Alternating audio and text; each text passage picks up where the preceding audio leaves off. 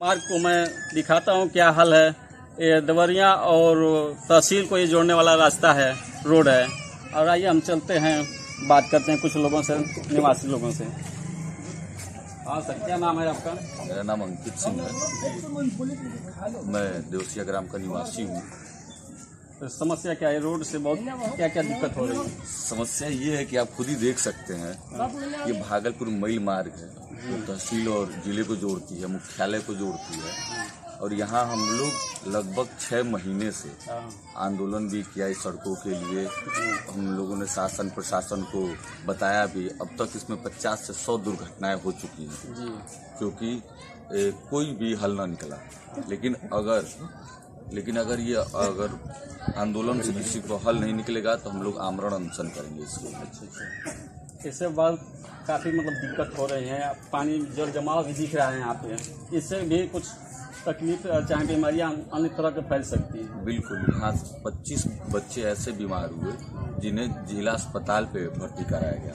अच्छा। उनके पालन पोषण के लिए आज भी ये तो है कि सरकार द्वारा मुफ़्त राशन के द्वारा जीविका चल रही है वरना नहीं चल सकती है। आप खुद ही देख सकते हैं ये गाड़ी आ रही हैं ये कैसे आ रही हैं? सड़कें बुरी हाल में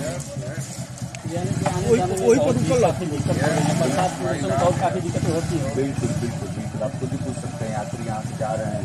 आप देख रहे हैं गाड़ियाँ कैसे आ रही हैं जा रही हैं। आइए हम चलते हैं कुछ और राहगीर से मैं बात करता हूँ। क्या सर क्या नाम है आपका? सुरेंद्र यादव है सर। अरे क्षेत्र पंचायत सदस्य भी हैं।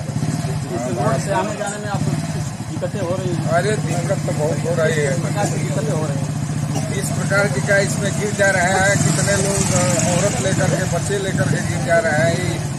सिंगल जाने में भी बहुत दिक्कत परेशानी है हो हैं। बहुत दिक्कत हो रही है इतना कट्ठा हो गया है कि चलना मुश्किल हो गया है। कितना दूरी है यहाँ पे?